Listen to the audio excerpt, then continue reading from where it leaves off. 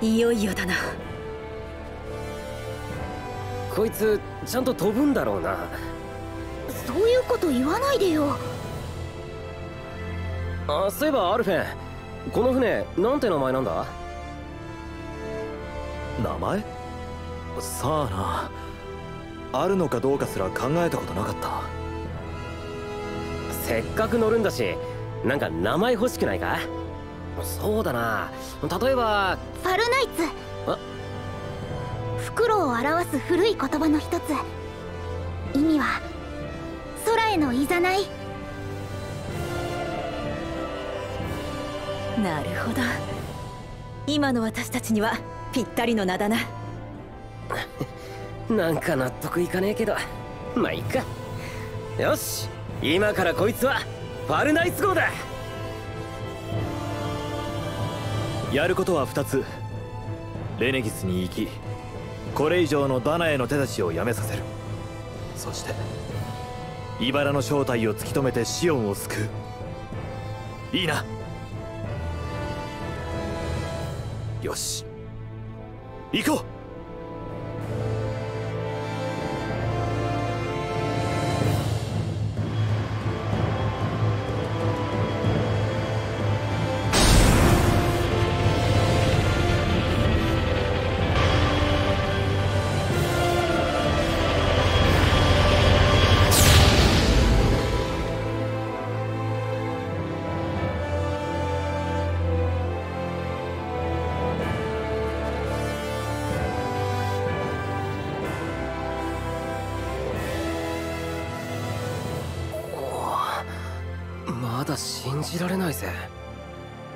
何が？だってよ世界がこんな窓一つに収まっちまうなんてさ。言われてみれば本当だね。世界っていうより不思議な絵を見てるみたい。あんだけいろんなことがあったのにみんな見えないくらい小さくなっちまった。逆に言えばそれだけ世界が大きいってことだよね。タナとレナの違いだって見えないくらい小さなことなのかも。レネギスまではどのくらいかかるんだ？一眠りするほどの時間はないな。今のうちにこの船の設備を確かめておくといい。そうだな。レネギスではこの船が拠点になるかもしれないし。だが船の操縦はいいのか？私が見ていよう最も基本的には自動だからすることはあまりないがね。分かった。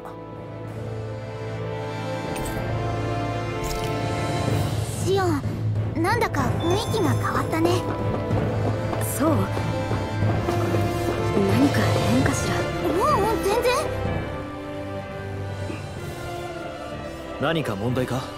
いやただ7年ぶりだと思ってねスルドとしてレネギスを立ってからか。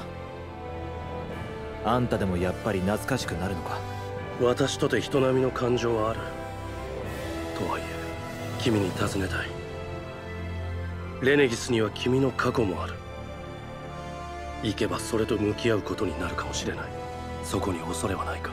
それは自分が大勢の命を奪った場所だ。ないと言ったら嘘になるだからって逃げるわけにはいかない。過去は変えようがないな。未来はわからないからな。そうか。テュオハリム。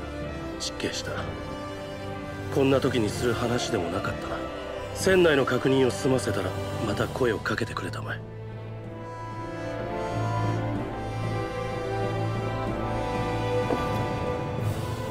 もうすぐレネギスね。シオンにとっては里帰りみたいなものなんだよな。ダナに降りてくる前レネギスでの暮らしはどんなだったんだ？いい思い出はないわね。物心ついた時にはすでに茨が発言していたし治療のためと言いつつ実際は研究対象のようなものだったわ。研究ってそんな？本当よ。どんな条件で茨が現れるのか触れた側の影響はどう変わるのか。毎日毎日。そんなことの繰り返し。解剖されなかっただけマシかもしれないけど。触れて激痛にのたうって。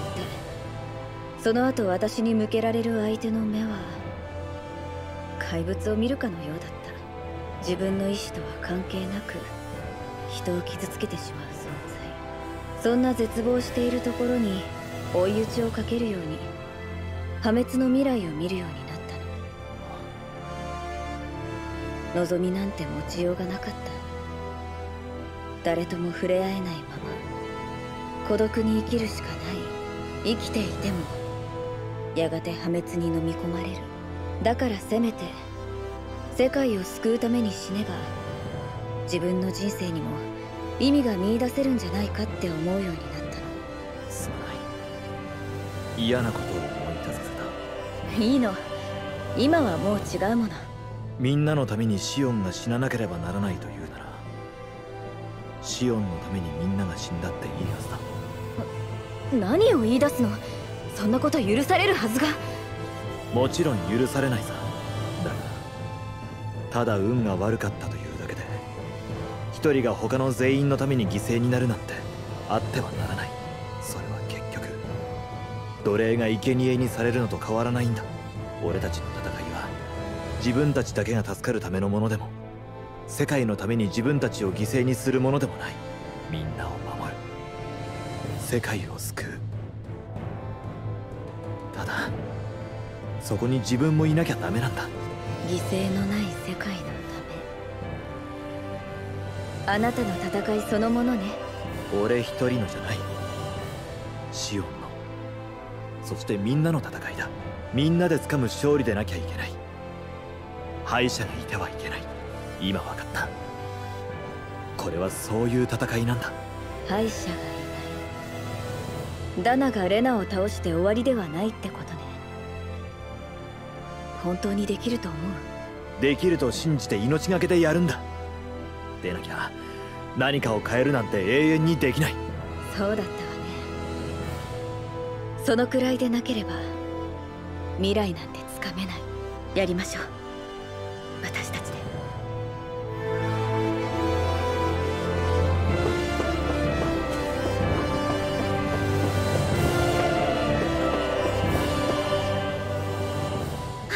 ねえ聞いてよアルフェ。ンローったらさ。おい言うなって。ローがどうかしたのか？この船が落ちないか怖いんだって最初は名前つけようなんて言ってたくせに。べ別に怖いとかじゃねえよ。ただこんな鉄の塊みたいなのが支えもなく空飛んでるなんてちょっとくらいおかしいって思うだろ普通。星船ってそういう機械じゃない。私は別におかしいって思わないけど。お前の神経がおかしいんだよ。俺が言うのもなんだがレナの技術は信頼できると思う。俺が今こうしてここにいるのもある意味そのおかげだしな。そっか。そういえばそうだよね。納得した？ローアルフェンにそう言われちゃ納得するしかねえけど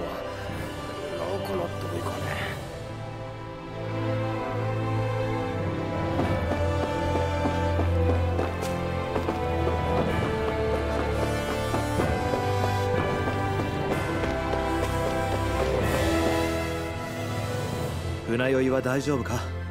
そういえば忘れていたな。ありがたいことに海の上と違って星船はほとんど揺れがない。何よりだ。その装置が気になるのか？どういうものなのかと思ってな。中に人が入るようだな。治療層だよ。怪我や病気を治してくれる。なるほど。もしレネギスで傷を負った時は役に立ちそうだなアルフェどうかしたか？いや。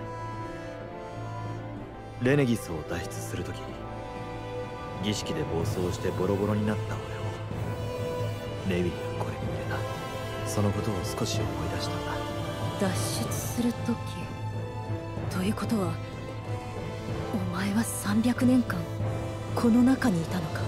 そういうことになるどうして300年も眠り続けたのかはわからないな。そうか。だが偶然かどうかはともかく私はお前が目覚めたのが今の時代で良かったと思っているぞ。どういう意味だ？お前がいなければ私たちはここまで戦い続けることはできなかっ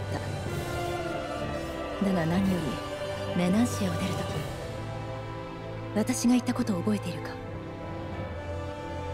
共存の夢とは何なのか自分で考え学ぶ必要があると。ああ。だからメナンシアに残らず俺たちについてきた。あの時の私は与えられた理想ではダメだと言いながらも兄さんの願いを叶えなくてはという思いにとらわれていた。兄さんの思い出は大切だが気づくべき共存は何よりこれから生きる人たちのためのものだと改めて気づいた。そしてそれをメナンシアだけでなくダナ全体に広めたいと私自身が願うようになった。みんなこの旅を通じて学んだことのおかげだ。だからそんな機会をくれたお前には感謝しているんだ。アルフェ。感謝されるにはまだ早いさ。赤い女のこともまだまだ気を抜ける状況には程遠い。分かっている。だがどんなことがあろうと私は目をそらすまいと思う。キサラとはいえまずは目の前の問題を片付けなければな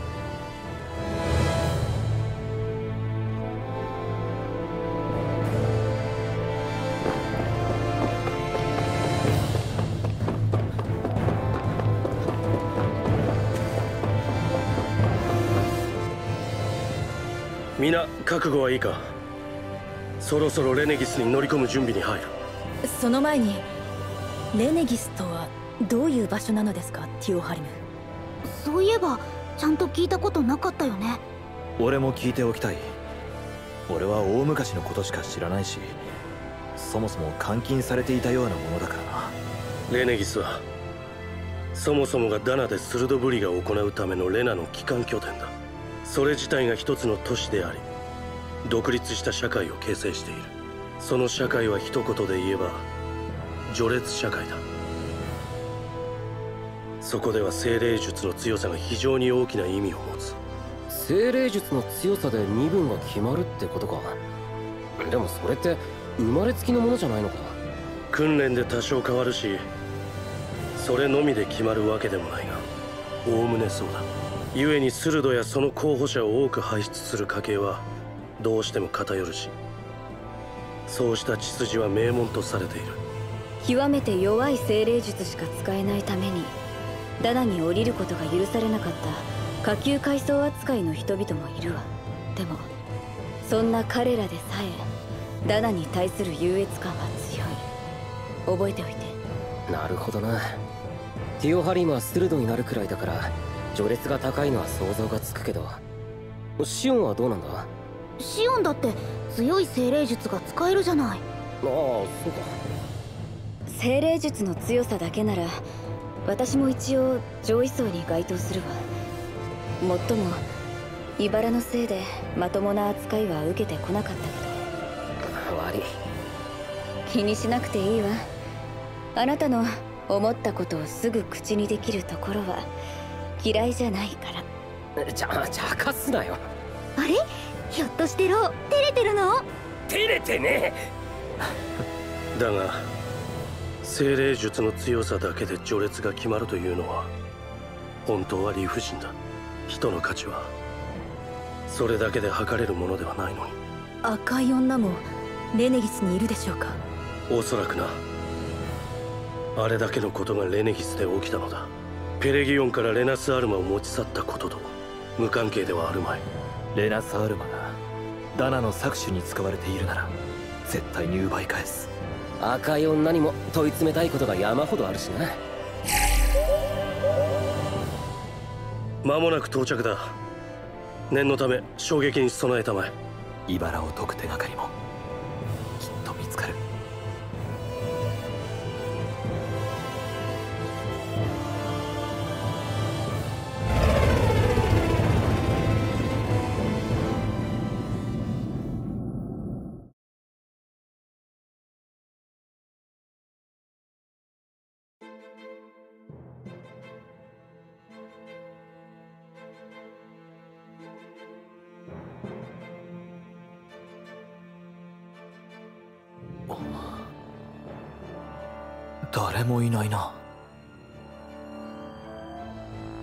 星船同様多くの場所が自動化されているからな。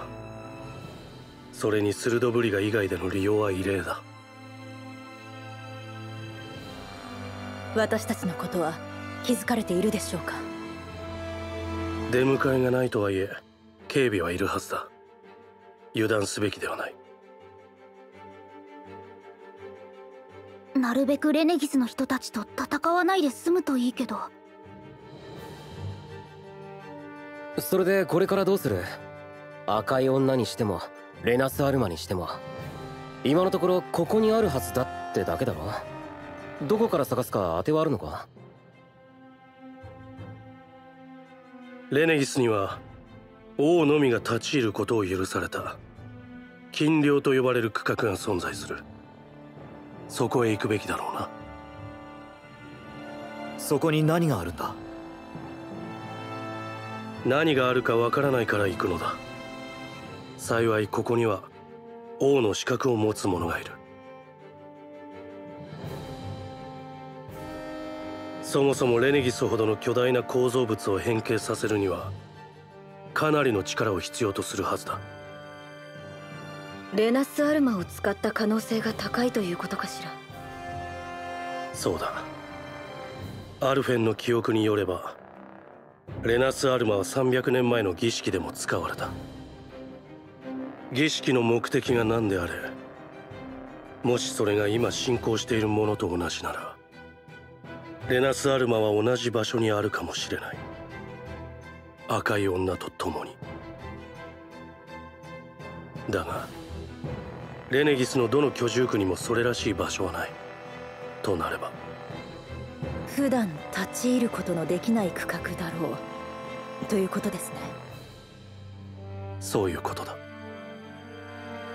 しかし俺が王にされたのは300年以上前の話なんだ。俺がいたところで入れるとは限らないぞ。行ってみないことにはわからないのだし可能性があるなら試してみるべきだと思うわ。そうだよ。シオンの茨のことだって何かわかるかもしれないし。分かった。どのみち手がかりはそれしかない。その金量に行ってみよう。あの壁の向こうに。外にいる間に攻撃されんじゃねえかってヒヤヒヤしたぜ。前から思ってたけどローって結構心配性だよね。バカバカ言え。俺はみんなのためにだな大声出すと誰に聞かれるかわからないわよ。ここには何人くらいのレナ人がいるのですか？正確なところは知らないが見た目ほどには多くない。大抵のことは機械とズーグルで賄っているくらいだ。やはりズーグルもいるか。気を抜かずにいた方が良さそうだな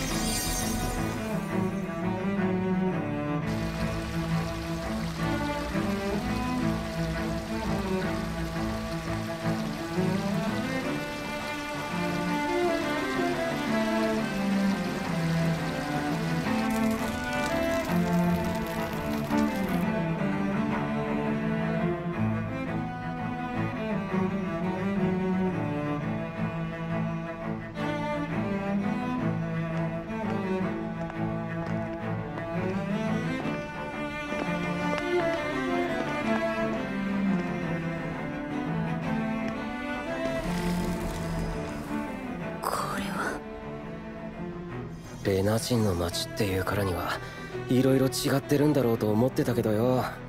でもこれはそういうのとも違うよな。配置が土台ごと変わってしまって都市の体を成していない。何があった？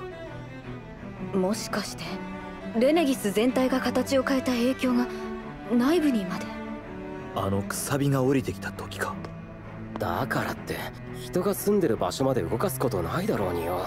自分たちの町だろレネギスの民のことなどどうでもよいということなのか。どちらにせよこれでは金領への道もわからないな。ひょっとしてテュオハリムか？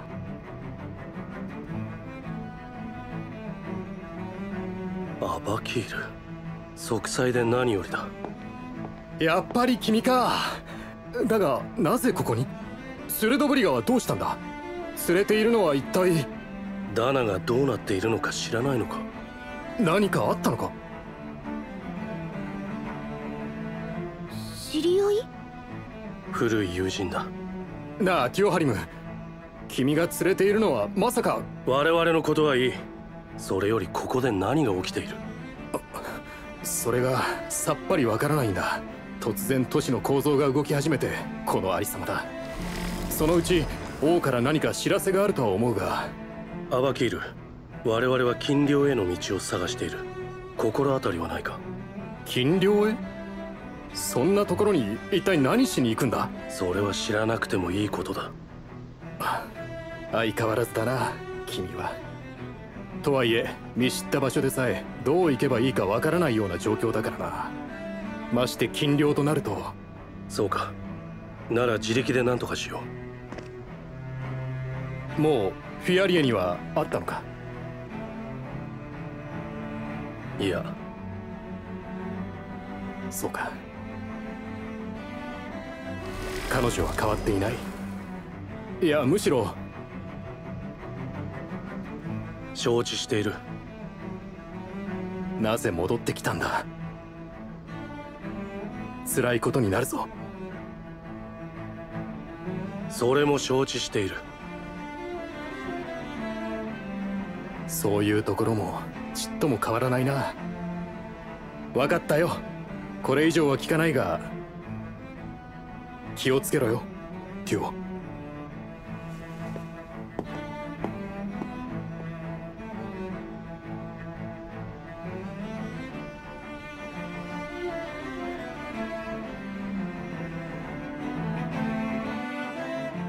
フィアリエって誰なんだ？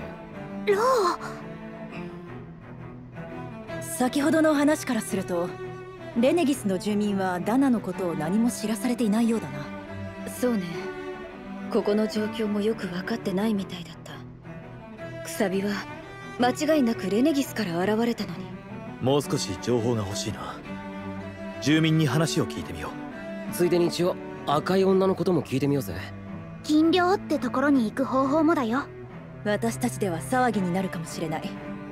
シオン頼めるか？そうね。その方がいいわ。私もやろう。ティオハリム。スルドの資格はレネギスでは有効に働く。う分かった。二人とも頼む。俺たちダナは人々の暮らしをめちゃくちゃにしてまで一体何をしようというのだ？こんな町を積み木を崩すようなこれをやった者は何を考えている？ダナからの精霊力を受け止めてレナに送るためではあるんでしょうけど。何のためなんだ一体？スルドブリガのためならそんな必要はなかったはずだ。なんであれくさびが精霊力を送るのを止めたと言っても狙う理由がある限りはこのままでは済むまい。ダメだよ。またあんなことさせちゃ金領ってとこに行けば何かわかるかもしれないんだろここでグズグズしてないで動こうぜ。ローの言う通りだな。俺たちに立ち止まっている暇はない。ねえレネギスの町って本当に最初からここで暮らすために作られたのかな？どういう意味？だってこんな大掛かりなこと最初から作ってなかったらできないよね。でも最初からそのつもりだったら町だってこんなことにならないように作ると思わない？確かに。その通りね。そもそもレネギスがこんな風になるなんて。私たちの誰一人知らなかった。この居住区は後から作られた。だとしたらなぜ？あごめん。変なこと言っちゃった。気にしないで見落としていた謎を指摘してくれるのは助かるわ。確かに今は解けない謎だけどその答えもきっとこの奥にあるはずよ。シオン。うん。そうだね。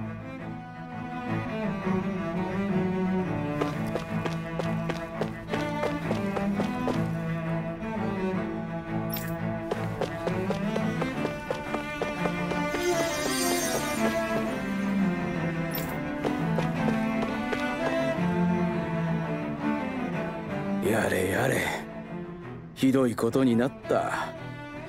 死骸はこのありさま。ズーグルが制御を受け付けなくなったとも聞く。いかなることやら。あなたもどうしてこうなったのか理由を知らないの？うん。事前に何の布告もなかった。知る必要はないという王のご意向なのだろう我々としては受け入れるよりない。あそれより御身はイルル・ケリスケのティオハリム教ではありませぬか？確かスルドとしてダナにおられるはずだと。いかにもティオハリムだ。多くを語ることは許されていないが特別な任務で戻ってきている全ては王の御心のままに。時ならぬ御身のご帰還。レネギスの変容。いやはや王の辛抱は計り知れませぬ。イルル・ケリスクは多くの鋭を輩出しておられる。こたびの鋭ぶりが御身の勝利を記念しております。最善を尽くそう。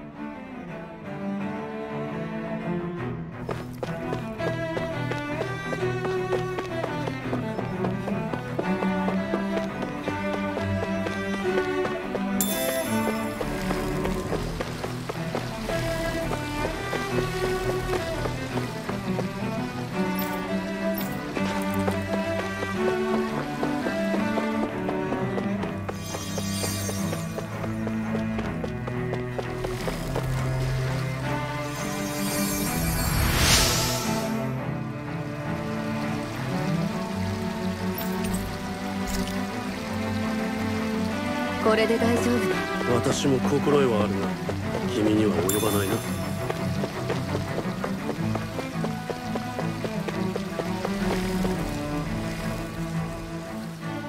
これはティオハリム閣下お会いできて光栄です。私も前回の鋭ブリガでダナにおりましたが残念ながら我が鋭閣下の勝利は叶いませんでした。思った以上に奴隷が死んでしまって。そうか。失礼。あなた最近レネギスで真っ赤な服を着た女を見かけたことはないかしら？赤ですと？いえ覚えがありませんな。そんな服ならさぞ目立つことでしょうが。そう。ちなみに前のスルドブリガの時にスルドのそばで見かけたこともない変なことを聞きますな。今も当時も覚えはありませんよ。その女が何か？いえ。時間を取らせたわね。ありがとう。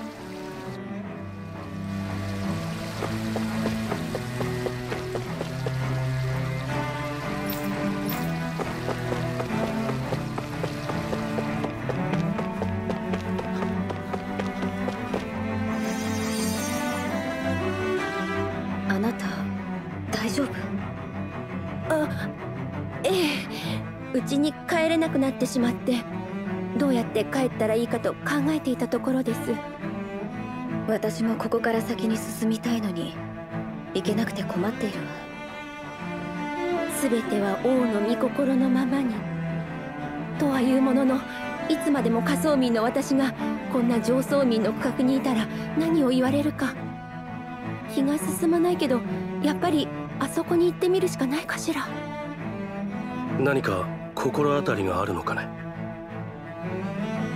デュオハリム・イルル・ケリス様。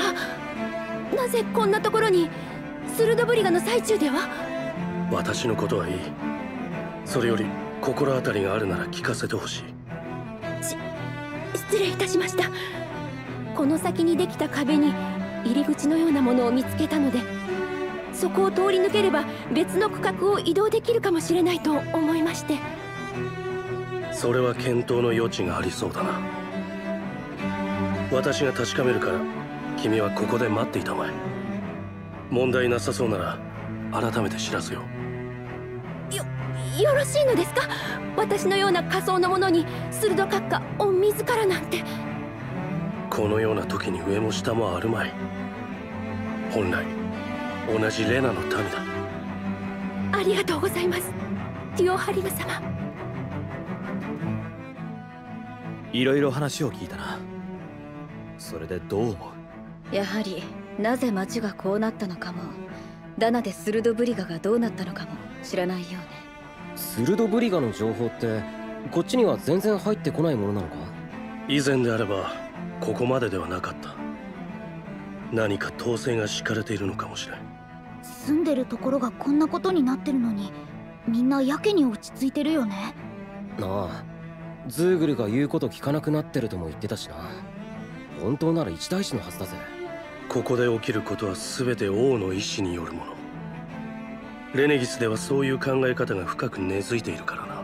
全ては起こるべくして起こる。王の統治によって。王の統治。一つ気になったのですが今レネギスを全ているのは誰なのですか？無論東大の王だ王がレナからレナとレネギスの両方を全て。いる間にスルドみたいなのもいないのか？レナってダナと同じくらいでかいんだろ？レネギスだけでもこんなに広いのに全部一人で収めるなんてそんなことできるのか？言われてみればそうだな。気にかけたこともなかった。王が全てを滑るというのがここでの常識だった。私もレナ本国をどのように統治されているかは知らんシオン。君は。いや君自身でなくてもいい。誰か本国に行ったことがあるものを知っているか。いいえ。知らないわ。私もだ。だがだとするとまさかレネギスの住民全員がそうなのか。どうしたんだよ。急に深刻になってレネギスでレナ本国をその目で見たことのある者は誰もいないかもしれないということだ。王その人を除いて。ですがそれだとレナとレネギスには交流が全くないことになりませんか？王だけが一方的にレネギスにその意向を伝えている。そういうことになる。考えてみたらさレナにいる王様が遠く離れたレネギスまで直接統治しているのって無理があるよね。今みたいに何かあってもその場にいないんだし。そもそも王とは何なのです？アルフェンは奨励の儀を行うために無理やり王にされたという。一方でレナの統治者も王と呼ばれています。どちらが真実なのでしょう？スルドブリガの勝者となったスルドが前任者からその座を引き継ぎレナの全てを統治する。それがレナの王だとされてはいるがそのレナ王は沈黙したままだ。ボルラーンのこともある。もはや何が真実か分かったものではないな。300年前俺はレネギスで王になった。いやされた。ダナ人の俺がだ。そして今この時代に同じ王の紋章を持つボルラーンがいた。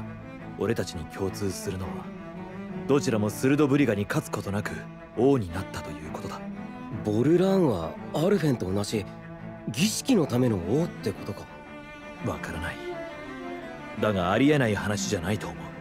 つまり統治者としての王と儀式のための王がそれぞれ存在していることになるのか。だが確かにガナスハロスでボルラーンの死体は見つかっていない。レネギスがこうなったのも。ボルラーンがここで儀式を行ったからだとしたら。待ってよ。それって赤い女とボルラーンが仲間だってこと？だって儀式には赤い女が持って逃げたレナスアルマが必要なんでしょ？儀式には巫女も必要なはずよ。私の他にも巫女がいるのでない限り。疑問疑問また疑問だ。この状況を解決するには王の正体を見極めるよりないようだな王だけが入れるという禁漁なら何かつかめるかもしれない。ダナを救うためにも。ええ。行きましょう。金領へ。確か別の区画へ通じてるかもしれない入り口があるって話だったよね。そこから金領にも行けるかもしれない。探してみようよ。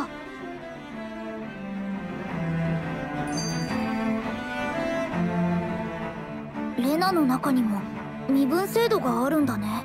住民は別にそれで不満も感じていないみたいだな。それでいいのか？いいも何もそれがごく当然のあり方とされてきたからな。君たちにも覚えがあるはずだが。支配されることに疑問を抱かなくなっていた。確かにな。ここの暮らしはダナのどの町よりも進んでいるように見える。十分な富がなくては理想の社会は作れないのかもと思ったこともあったがあればいいというものでもないらしい。赤い女のことも誰も知らないみたいだったわね。本当にレネギスにいるのかな？もしいなかったら。まだ決めつけるには早い。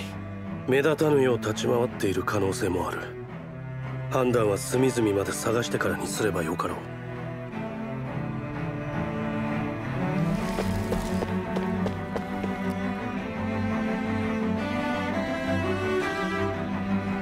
してもこういう時現場に偉い奴がいないってやっぱりどうかと思うぜ。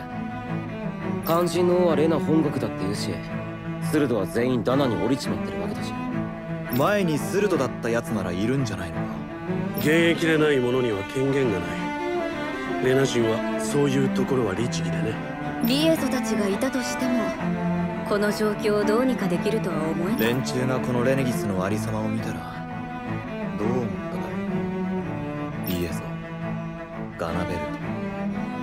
トアウメドラオルラ考えたら俺たちデュオハリム以外のスルドのことろくに知らないんだよ。そりゃしょうがないぜ。ダナの俺たちにしてみりゃ倒すべき敵以外の何者でもなかったんだしなあただこうやってレナ人にも町があって。彼らもここで暮らしていたのが不思議さよな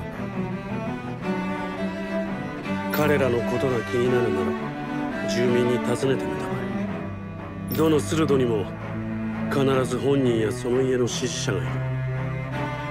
幸いダナの状況は知られていない。多少のことは聞けるだろう。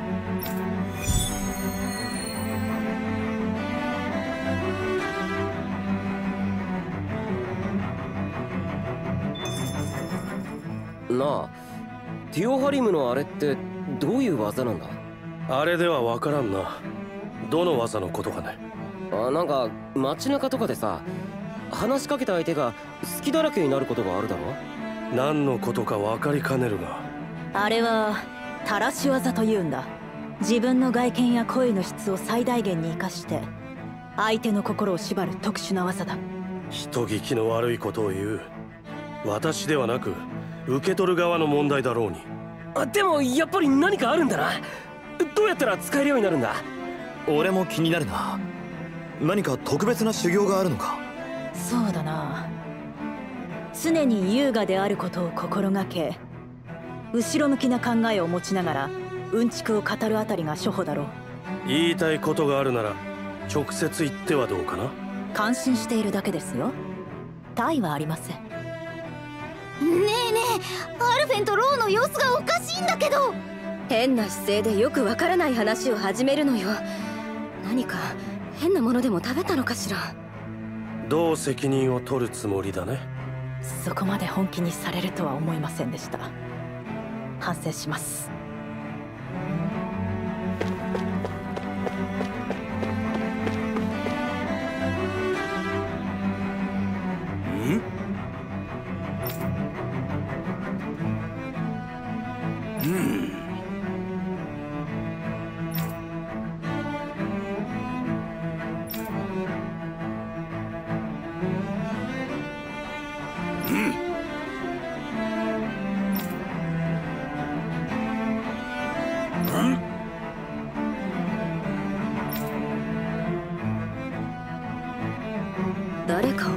けていたです。っあのビエゾが。立場が変われば印象も変わろう。そういうもんあの男にも守りたい。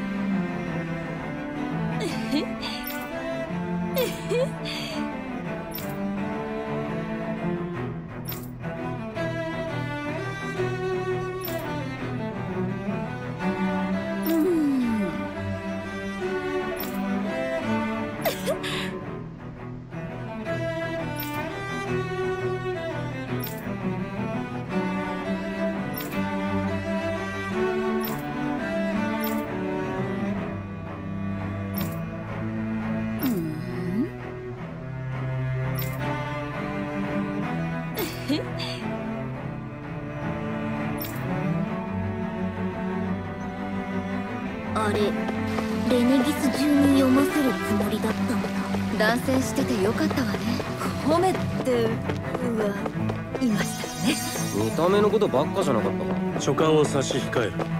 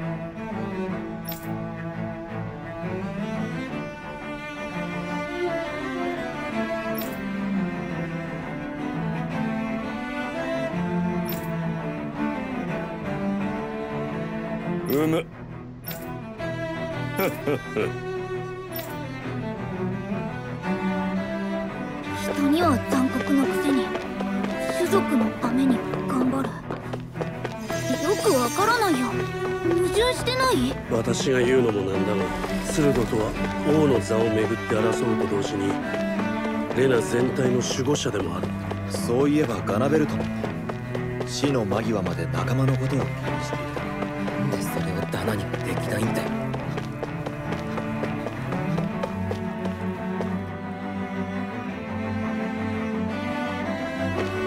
ここはさっきの区画ほど被害がないみたいだ。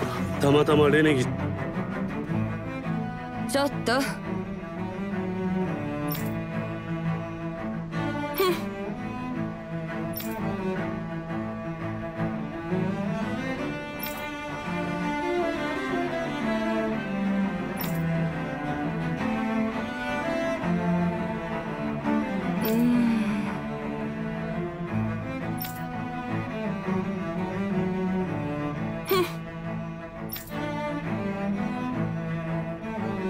手段を選ばないのが実力主義。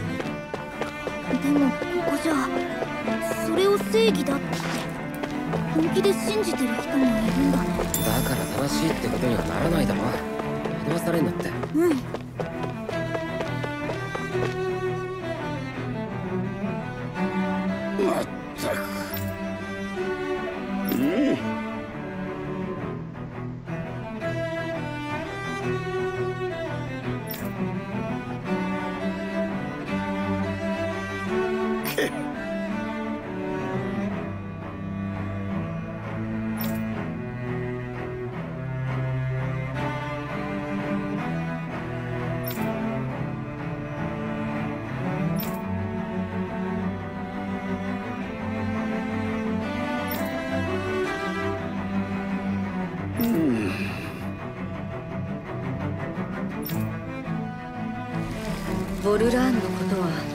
レネギスでも知られていないようで。あの突然の交代劇は私も驚いたものだ。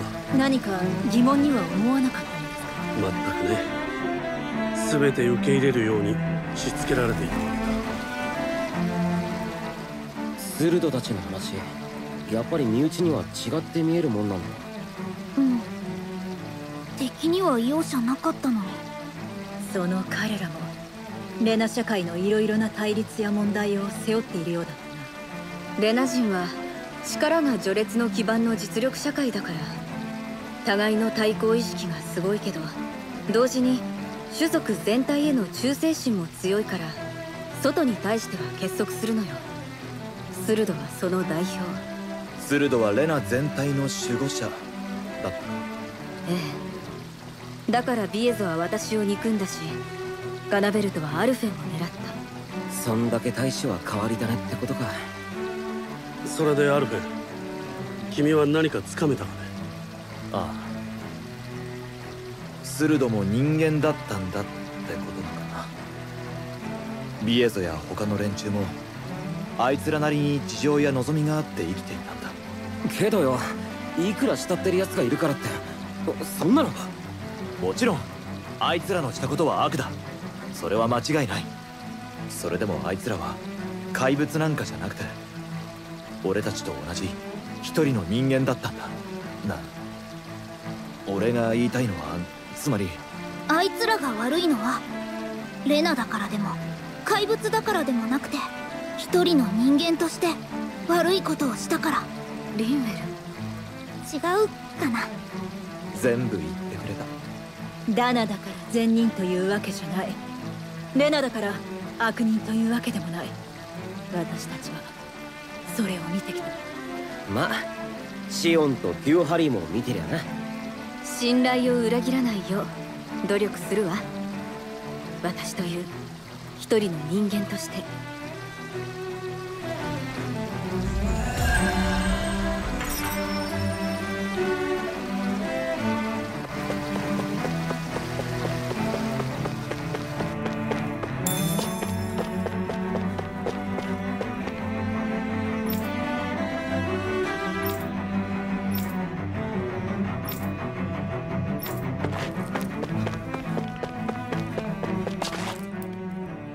気になっていたんだな。どうしたんだ少なくともスルドブリガ自体はずっと行われていたんだ。筋から言えば前回の勝者であるスルドが今のレナを治めていることになる。まあそうなるよなそれって誰なんだ？ハンフリクとミルグリスだ。確かシスロディアのスルドだったはず。そのハンフリクトという人がレナの支配者っていうこと？そういうことになる。直接見たのは前回のスルドブリが終了の時が最後だが。王となってからは一度もレネギスにも姿を見せていないのですか？通信以外の形ではないと思うわ。ハンフリクト王以前の王もだけど。それを言えば王以外の誰かが本国からやってきた記憶もない。それってやっぱりなんか色々変だよね。うんしかも我々はそれを当然のことと思い込まされてきた。だとしたら誰が何のためにそれをしたかだが。そういえばレナス・アルマもスルドブリガの勝者にその都度作られて与えられるもののはずでしたね。もし代々の勝者が受け取っていたのならその数だけレナス・アルマがあったことになります。でもペレギオンでのことを考えるとレナス・アルマが簡単に作れるとは思えないわ。となると勝者の話も怪しくなってくるわね。本当は何を信じていいのかわからない。確かに。闇のマスターコアを必要とするということも我々レナ人は知らなかったのだからな。そのあたりも金量ではっきりするかもな。ああここで考え込んでるより早く行って確かめようぜ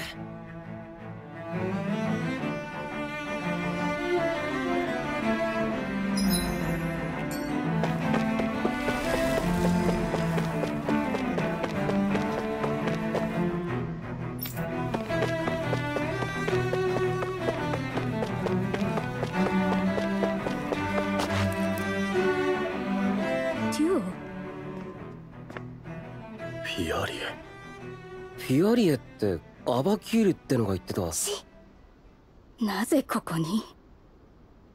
まさかスルドとしての責務を放り出してダナから逃げ帰ってきたの？何も言わないのね。タルニガスを殺してまで手に入れた地位だというのにあなたは。殺した？ここには用があって戻った話があるのであればその後にさせてもらいたい。そうよね。いつだって逃げるのがあなただった。7年経ってもダナで暮らしても何も変わらない。でもそれは私も同じ。この7年あなたを憎まない日はなかった。私を殺して気が晴れるならそうするといい何を言い出すんですティオハリム。だが先ほども言った通り用あってここに来ている。それが終わるまでは待ってもらいたい。あまたの罪を犯した身だ。ことが終われば必ずや君の気の済むようにすると約束しよう。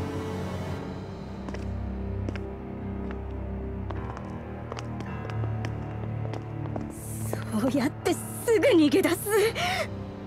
自分で死ぬ勇気もなく人任せにして。あなたは最低よ。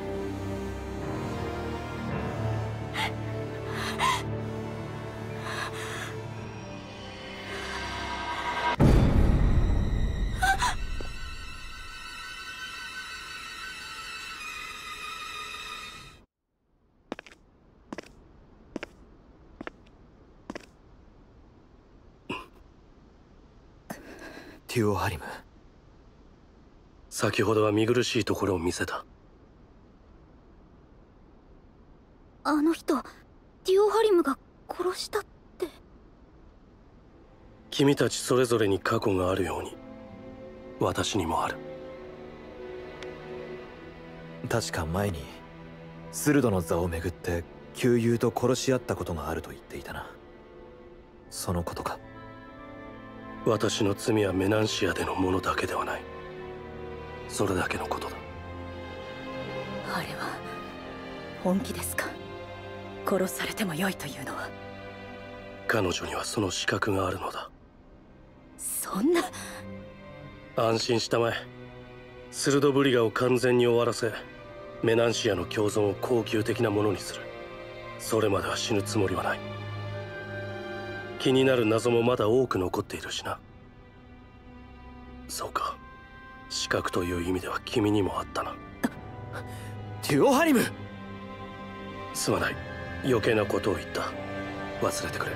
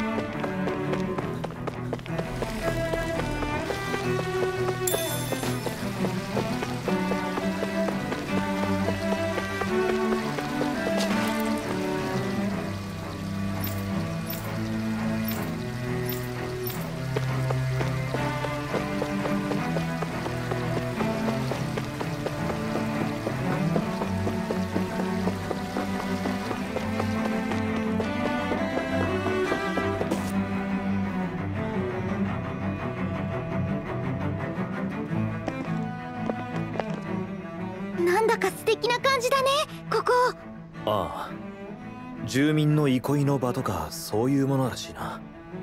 ええさすがレナの町。贅沢にできてる。何か気になるの？テューハリム。ダナに降りる前よく旧友たちと演奏に興じたものだ。まさにこの場所で。アバキールフィアリエそしてタルニガス昔のことだ。タルニガス。フィアリエという女性が言っていた名前ですね。タルニガスは私の親友。そしてフィアリエの婚約者でもあった。フィアリエは仮想の出身だったが誰よりも優れた音楽の才能があった。その際に惚れ込んだ私が階層を気にする彼女を説得してタルニガスとアバキールに引き合わせたのだ。幸せな時代だった。精霊術だの家柄だの一切関係ない。ただ美しい。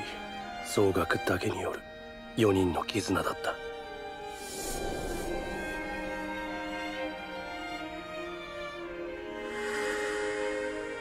このレネギスで階層にとらわれない人間関係を築いていたなんて。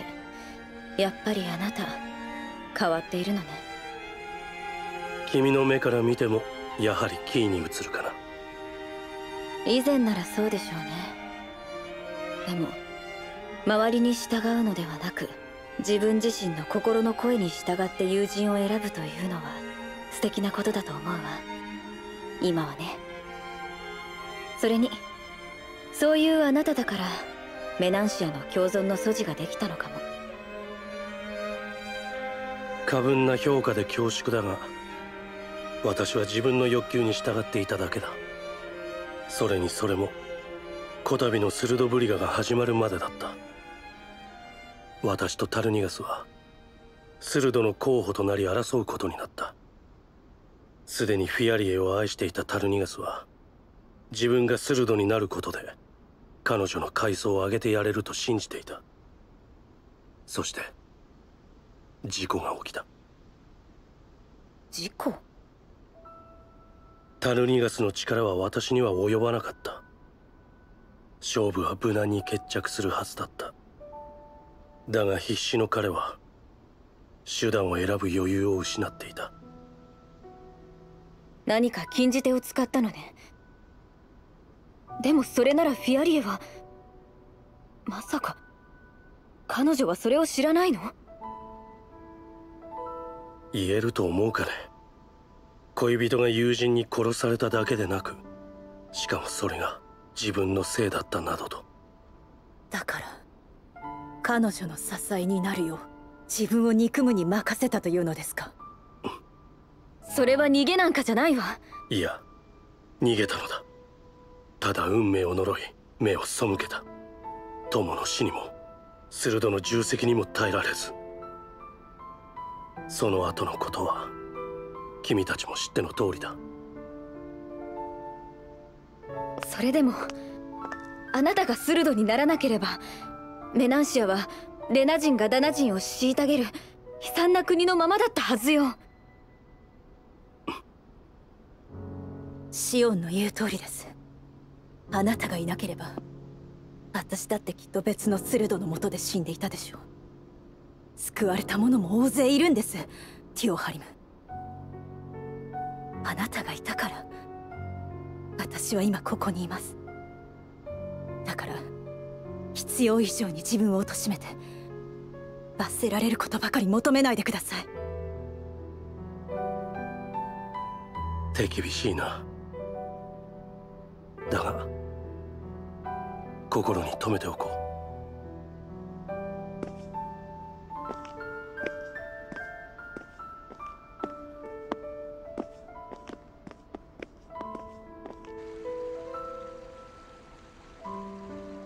ティオハリムは大丈夫そうか？だと思うけどキサラもいるし。そうか。よかった。人を励ますのって難しいのね。一番大事なのはそうしてやりたいって思う気持ちだ。きっと伝わっているさ。そうだといいけど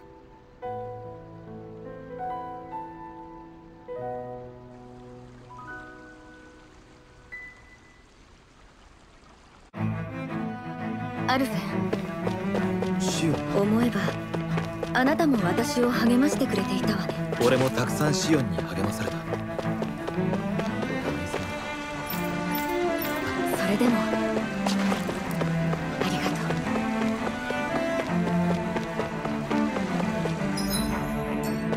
とう。あそこに治療師と資材班の者がいる。私がいれば協力が得られるだろう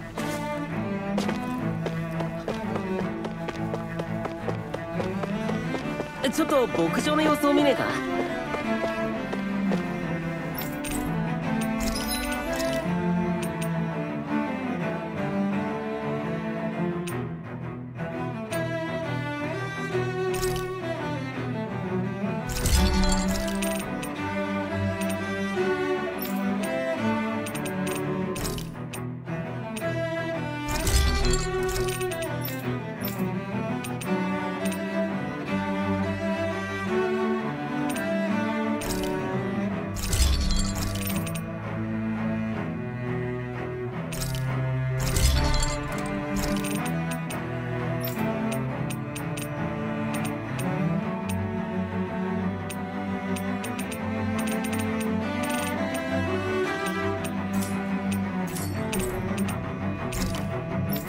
備は見直したか？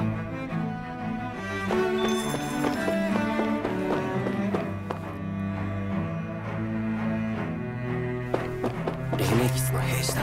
やっぱり戦わないといけないのかな？相手の出方次第だ。油断するな。待て。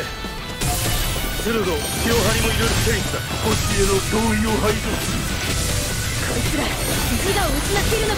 ここでやられるわけにはいかない応戦するぞ。守りが硬いな。突破口をゲッ相手の術を使う。か私に任せて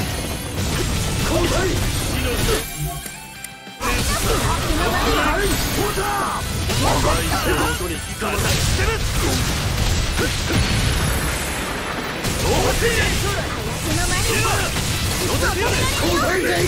風の爪に力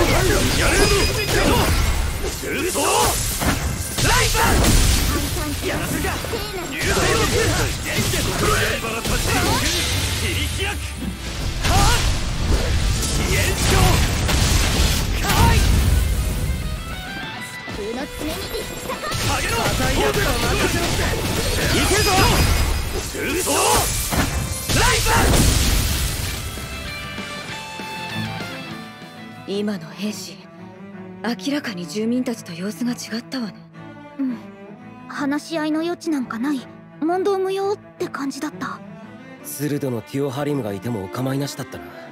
うん。我々を明確に敵として認識していた。レネギスの中で脅威らしい脅威など。せいぜい実験か何かで暴走したズーグルくらいのはずなのに。ガナスハロスの時に似ていた気がするボルラーンに支配されていた兵士や奴隷の様子に。以前のレネギスにはあのようなものなどいなかったが。私たちが来たのを快く思わない何者かがいるということでしょうか。赤い女か王かはたまたボルラーンか。いずれにしても気を引き締めた方が良さそうだな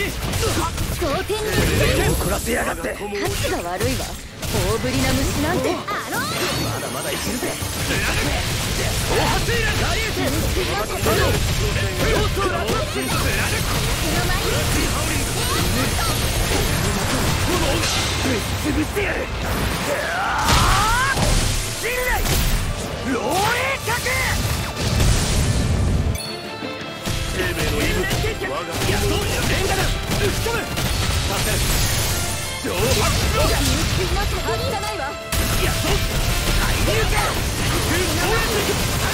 らせ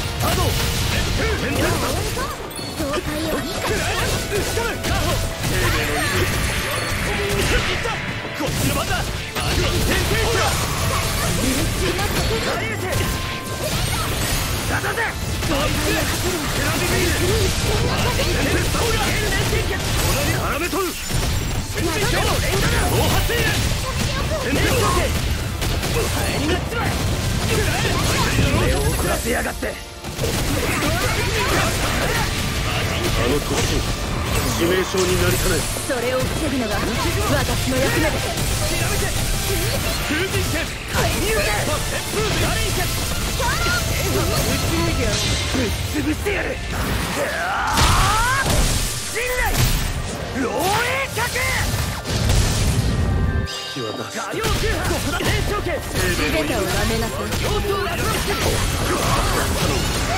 や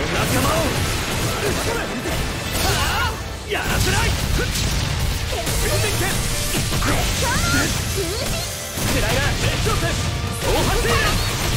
いけるぞ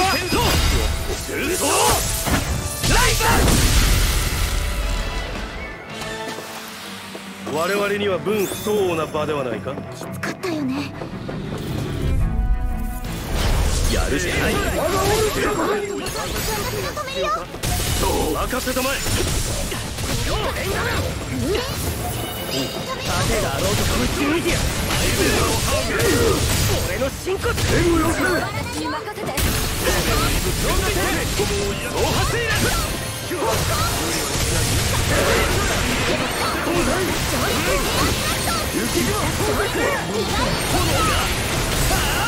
こ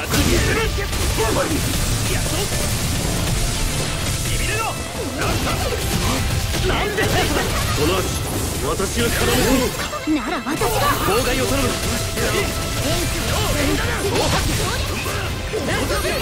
ここまでだ後悔しな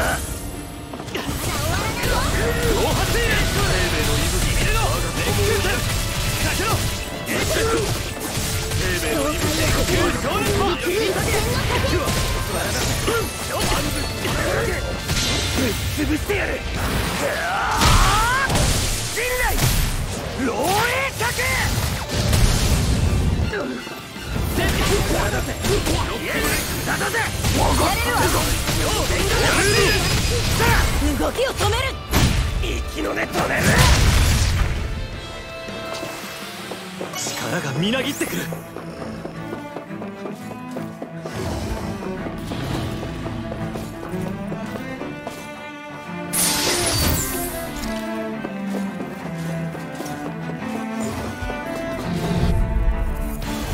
お手並み拝見といこう。やれるよ。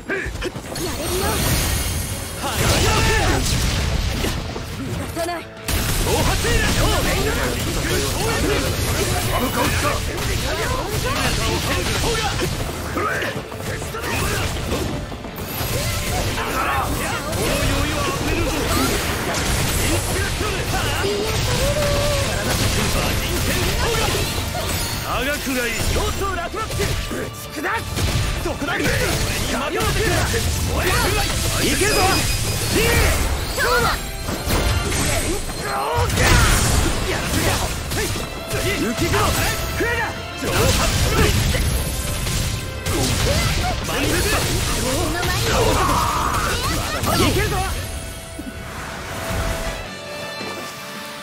ひとまずの決着はついたかまだまだ戦いは続くんだなこちらが誰かお構いなしに襲ってくるわね何者かが金領を守らせているのか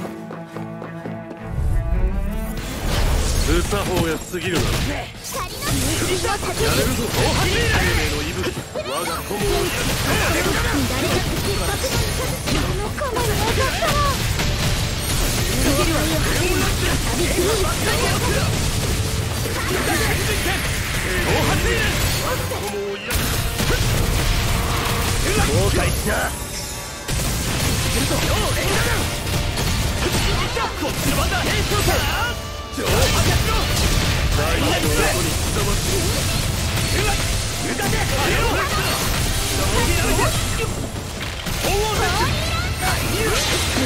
してや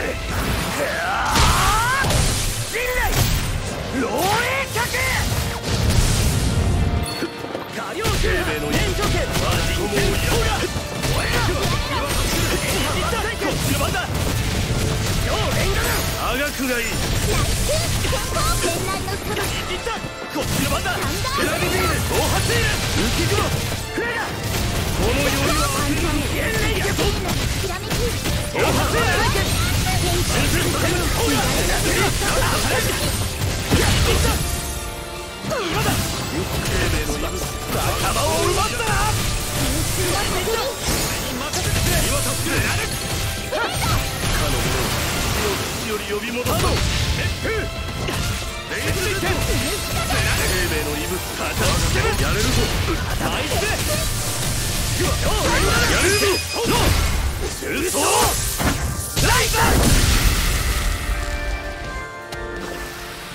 これまでの戦いが実を結んだな。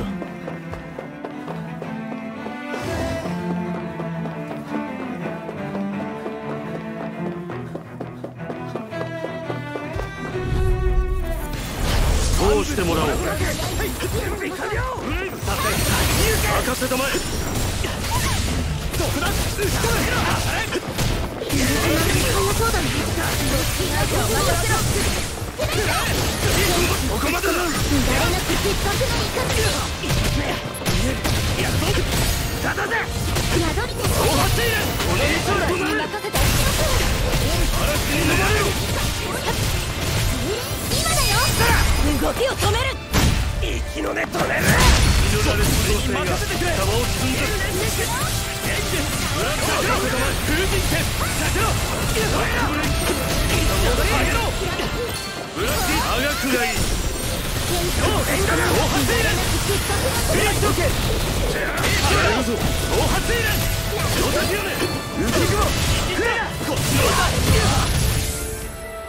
生命の息吹生命の息吹こっちの番だ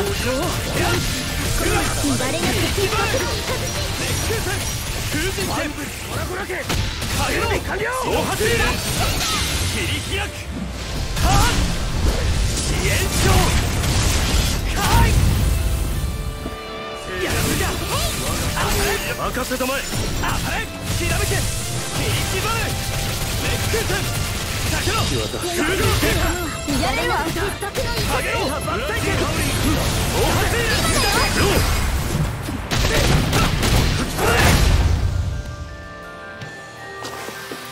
みんな無事だな。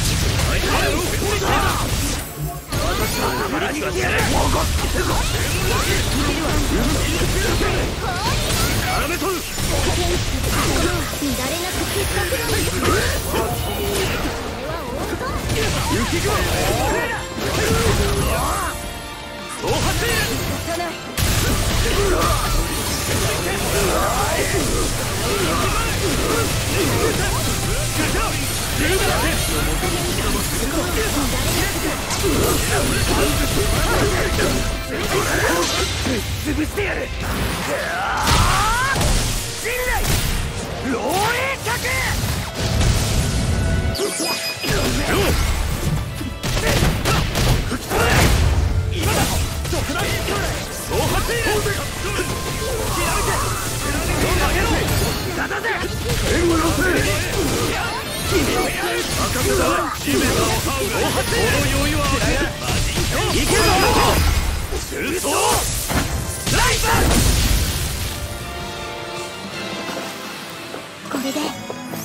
力になれるかな？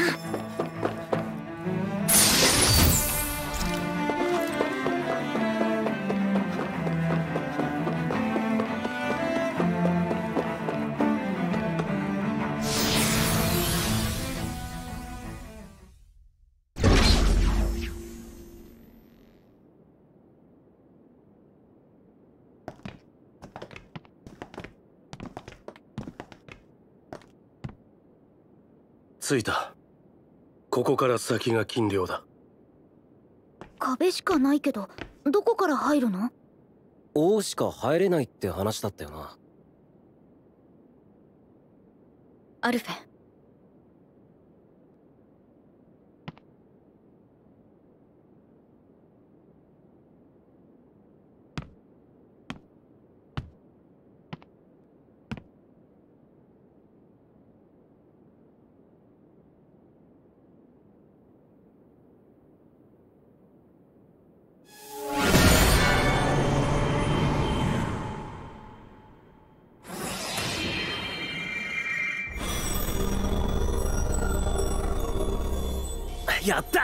いたぜ。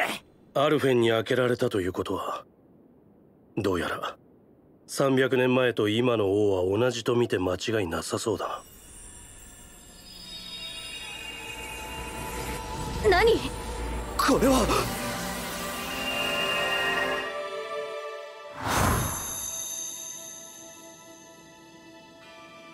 アルフェン。あんたかいよいよ奨励の儀は明日ね。あなたは王として私は巫女として体調に変化はない。何が王だ。俺はダナ人でずっと実験に次ぐ実験で人間扱いすらされてこなかったのにおまけに儀式だかなんだか知らないがその時まで何をするのかも知らされない時だ。あんただって似たようなものなんだろう。よく平然としていられるな。確かに。私も自分から望んだ役目ではないわ。でもレナの繁栄に必要なことだと言われたら受けないわけにはいかなかった。あんたはレナ人だからそれでいいさ。だけど俺は故郷からさらわれてきて戻るためにやむなしだ。それは理解しているし申し訳ないと思ってるわ。終わればきっと故郷に戻れるようにする。だから今はお願い。協力して。お願いも何も。どうせ俺に選択権なんかないからな。なあ。あんたは？ネビリよ。ネビリ・アイミリス。いい加減覚えて。ネビリはなぜ俺を人間扱いするんだ？他のレナの連中と違って。一つは属している世界は違っても役目を強いられているという点で私たちは似た者同士だから。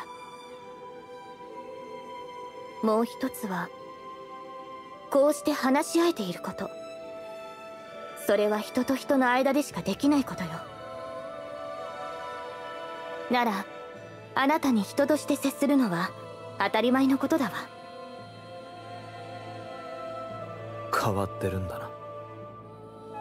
かもしれないわね。分かったよ。明日の儀式はやり遂げて俺はダナに帰る。それで終わり。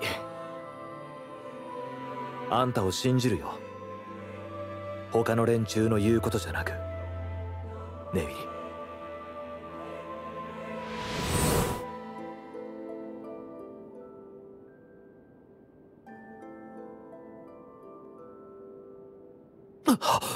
い今のは？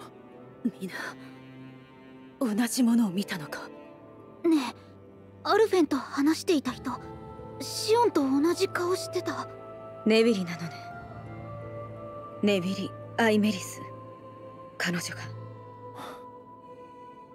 そうだ。本当にシオンとそっくりだった。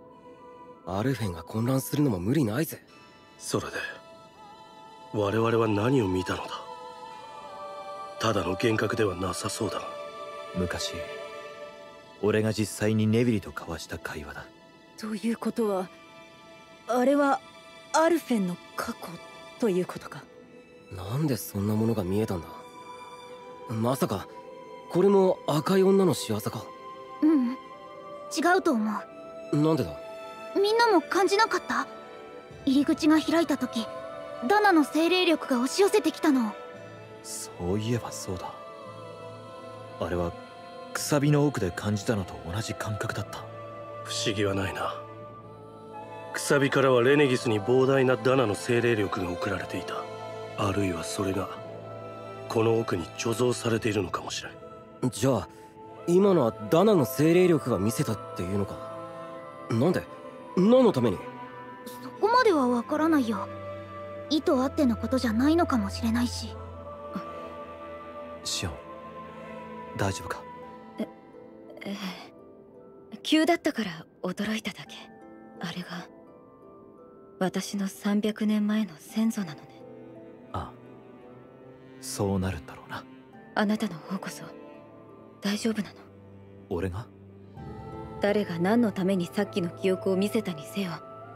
この先もまた起こるかもしれない。あなたは？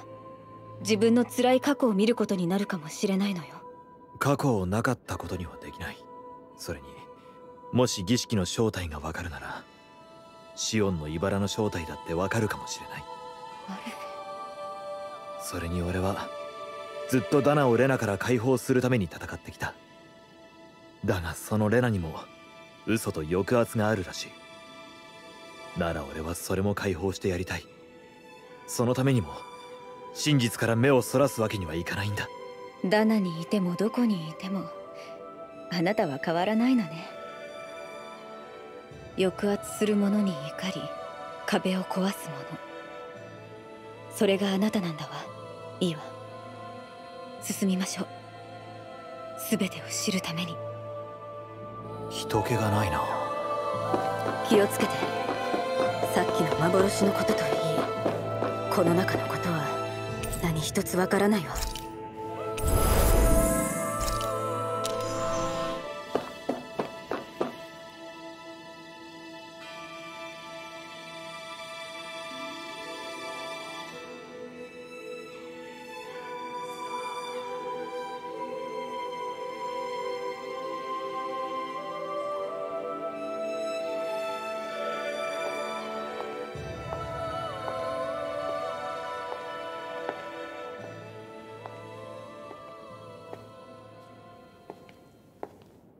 やアどうやってここに？待て。なんだか様子が変だ。なんだ？なんかまともじゃなさそうだぞ。ああ。まるであの金量の外で遭遇した兵士たちのようだ。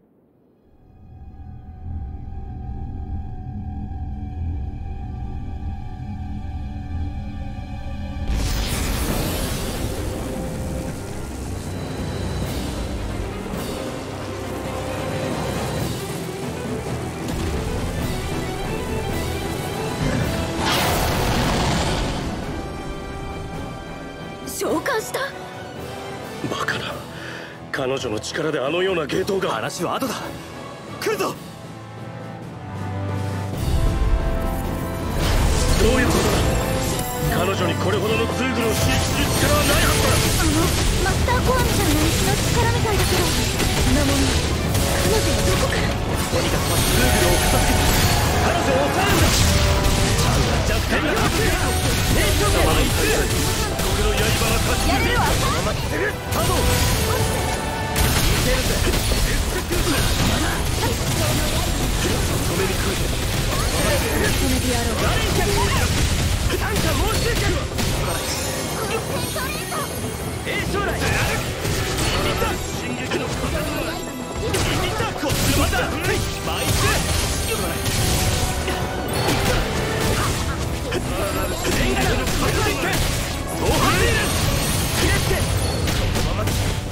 のままだ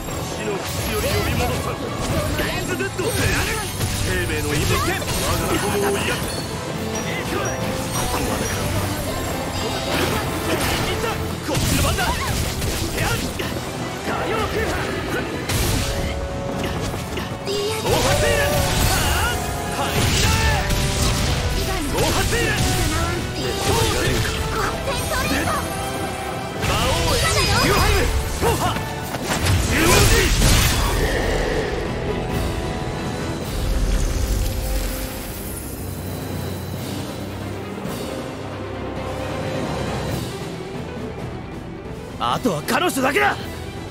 フィアリー私の声が聞こえるか？フィアリー。また何か召喚する気だよ。術者の力を上回る術は負荷が大きい。何度も使えば彼女自身が持たないわ。ティオハリム！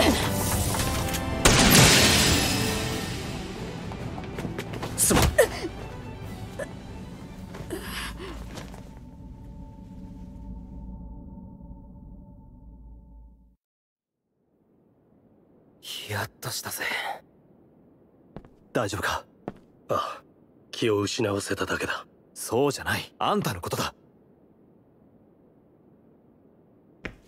すまないが彼女を治療してやってもらいたい。ええ。ただ目を覚ました時正気に戻っているとは限らないわよ。それにここ本当は入っちゃいけない場所なんだよね。このままここに置いていくわけにもいかないんじゃないの？それは。僕が引き受けようあんたはアバキール。なぜここに？君のことが気になってね。後をつけてきたんだ。タルニガスの死の話も聞いてしまった。すまない。そんな事情があったなんて。私が自分に都合のいい嘘をついているとは思わないのか？これでも多少は君のことを理解しているつもりだよ。フィアリエのことは任せてくれ。何をするのかは聞かないけどうまくいくことを祈ってるよ。ティオ。すまない。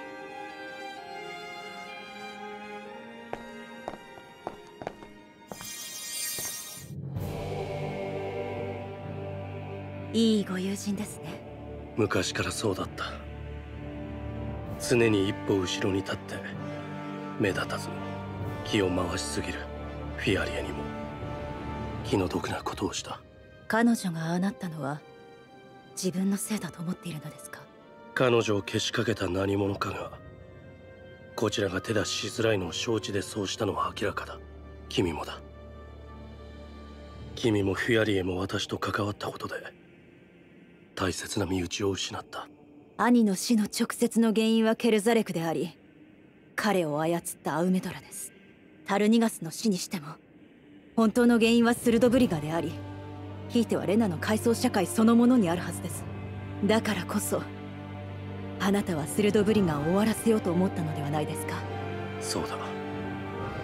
そうすることでしか私が死なせた人々に償うことはできない。償うことなどできません。できないんです。ティオハリ。ム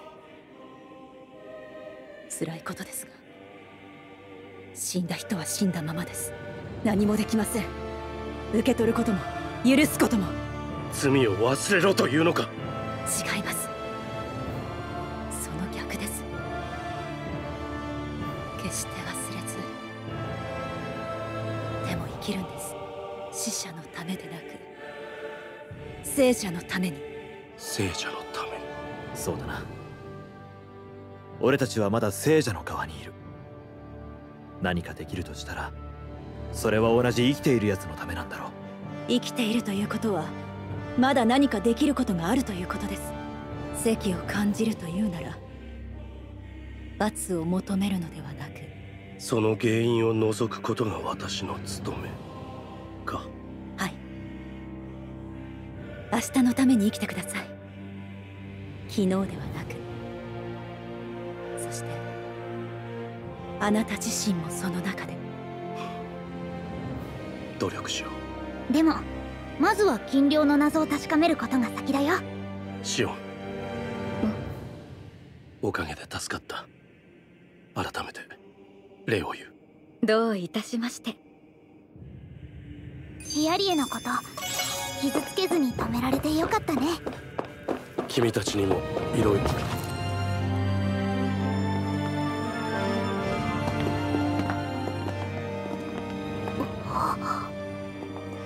どうしたリメル？あひょっとしてまた？うん。声だ。ダナの精霊力の意志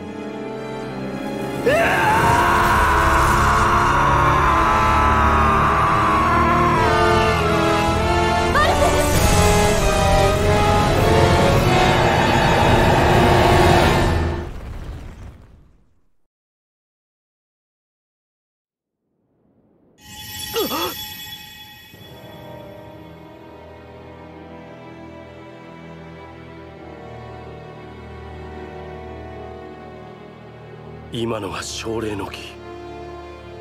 だがそれ以上にあれは。何もかもなくなるような感覚。なんだよ。何なんだよあれは。破滅よ。間違いないわ。茨が見せるのと同じ。私たち全てを飲み込む暗闇。何もない空虚到底言い尽くせない。だが確かにあれは破滅だった。あれが破滅。あんなものをシオンはずっと見続けてきたのか。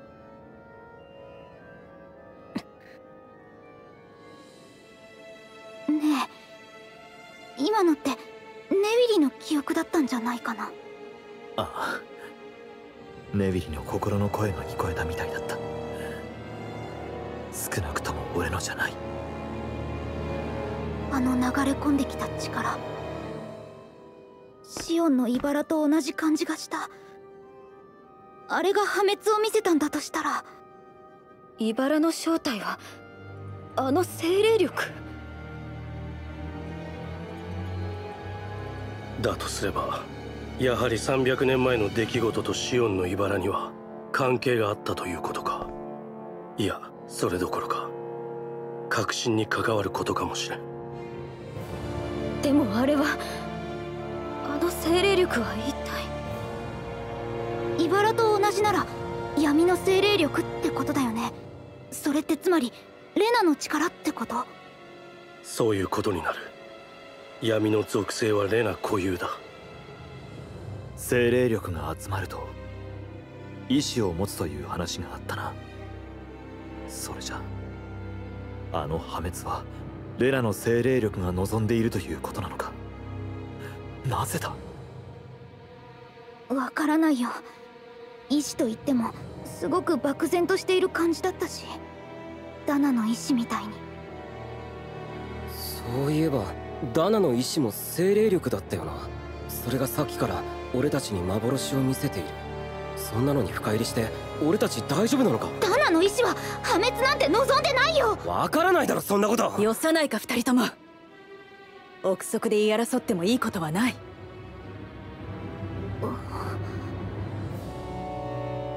進みましょう。ダナの意志がなぜ300年前の記憶を見せてくれるかはわからないけどそれが真相につながるなら私は知りたい俺もだ。これがネビリの記憶なら俺が知らないこともわかるかもしれない。戦い続けるためにも俺はそれを乗り越えないといけない。変なこと言って悪かった。行こうぜ。ようやく茨の正体に近づいたようだな。はい。300年前の儀式がその原因らしいということもです。だが茨を解く方法はまだだ。この先で見つかるといいが。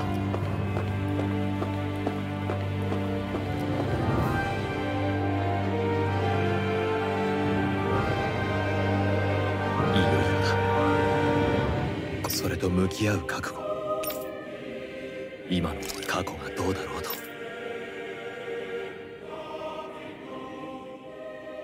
フィアリエはやっぱり操られていたのかしら？操られるって誰にだ？赤い女にか？誰にせよ。この一連の裏にいるやつだどうあれ。フィアリエの恨み自体は彼女のものだ。やり方が汚いよ。こっちが手を出しにくい相手を選んだってことでしょ？だがこれでレネギスのどこかに我々を敵視している存在がいることは間違いない。ええ。私たちに合わせて仕掛けてきたのだから。人の心につけ入る真似をするようなやつ必ず見つけ出してやる。あの過去の幻。私たちに関わりがあることばかりダナの意志の仕業かもしれないという話だったがどうなのだろうな。俺たちに何かを伝えようとしているのか？そういやさ死んだはずのやつを見たとかこと使ったとかそういう話って結構聞くよな。幽霊の類と一緒にするのはどうかと思うぞロー。いや案外的を射ているかもしれん。人の思いや行いがさながら足跡のごとくその場所に刻まれるとしたらそして関わりあるものはとりわけ感応しやすいとしたらそれが私たちの見た幻の正体。ただの想像だ。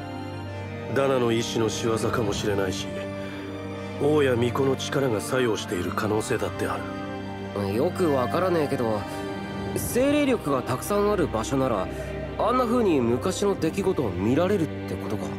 そんなにたくさんの精霊力が自然に集まることなんてそうないと思うけど。いずれにせよ300年も消えずに残っていたのだ。相当強い思いだったに相違あるまい。強い思い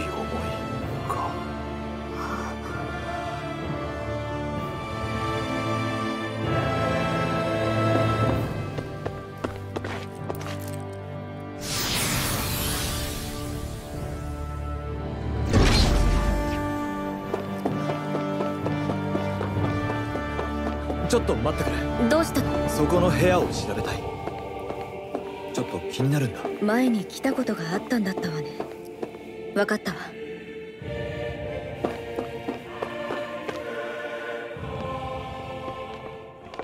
ここは何かの研究施設のようだけど。金量にか。もはやいちいち驚く気にもなれんな。誰もいないようですね調べてみよう。何か得られる情報があるかもしれない。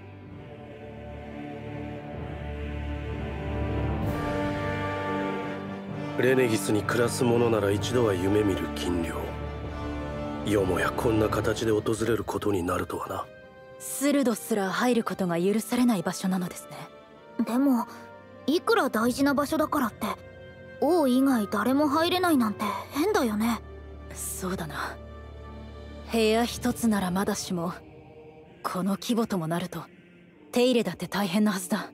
王が何者にせよ一人で管理するには広すぎる。そういうことが話されることはなかったの？あまり記憶にないわね。そもそも王も金領も軽々しく話題にするようなものではなかったから。王の権威と一体になった特別な場所。選ばれた人々のさらにその頂点に立つ者のための場所我々はずっとそう信じてきた。いや信じ込まされてきた。その裏でこれだけのものを維持してきた目的。いよいよもって確かめずにはおくまい。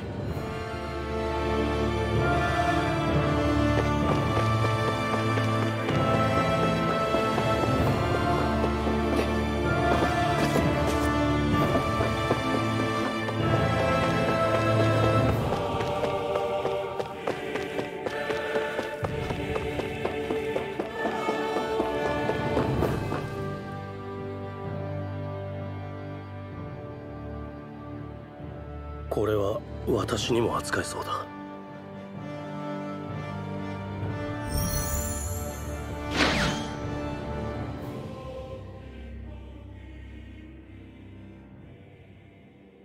わかるか？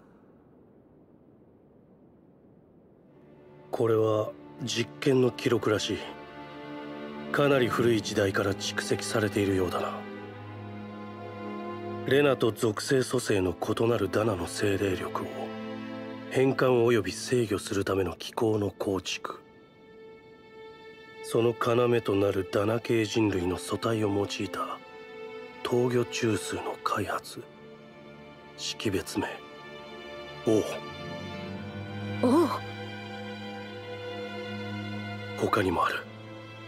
精霊力の安定的凝縮のための力場結晶の研究。これはコアのことらしい。この文では探せば巫女やスルドの研究記録も見つかりそうだな。スルドもですか？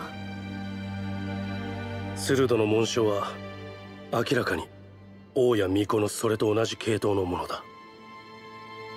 そのスルドも一般のレナ人から選抜されることを考えると全てのレナ人が何らかの処置を受けている可能性すらある。他に王のことで何かわかるか？さっきのは見出しだ。全てを読むには膨大すぎるし専門的すぎていや待て。何か見つけたのか？王の実験体の一覧名簿だ。どうするね？頼む。膨大な数。その全てに失敗とある。成功例はあった。これだ。調整隊12735母集団なし。特殊調整系。世代なし。個体名。アルフェン。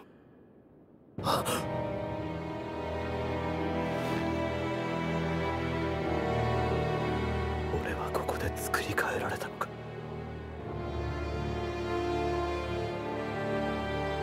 アルフェン。大丈夫だ。他に成功例は？調整隊10105号母集団なし。特殊調整系世代なし。個体名ボルラー。ボルラーンもここでやっぱりあいつも誰かに王にされたってことかよ。あの男が最後だ。300年の間。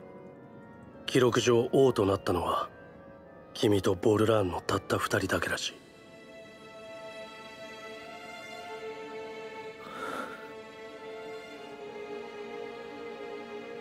いですがそれでは今までのスルドブリガの書者は誰も王になれなかったということになります。王になった者はレナへ帰還しそこからレナとレネギスを統治する。次の王が現れたらその地位を退きそのままレナで余生を過ごす。そう言われてきた。だが記録通りなら王は二人だけだ。それもスルドブリガとは無関係にだ。これではレナに王は存在しようがない。スルドブリガもその本当の目的は別にあったのだろう。統治者を選ぶための試練などではなくそうは言っても300年間誰かが実際に支配してきたはずだろそれが王でないなら一体誰なんだ？俺を王に変えスルドブリガを始めた。そして300年間レナに王がいると嘘をつき続けた奴がどこかにいるんだ。それが本当の黒幕か。あの赤い女？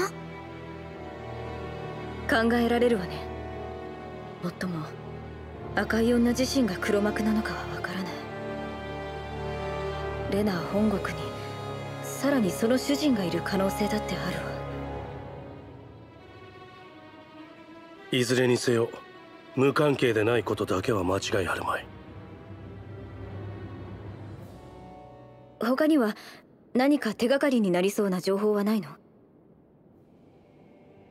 どうやらここにあるのは実験にまつわる記録ばかりのようだ。我々の知りたい誰が何のためにといった情報はなさそうだな。とはいえここにはまだ目を通していない膨大な資料がある。全ては無理でも気になるならもう少し調べてみるといい。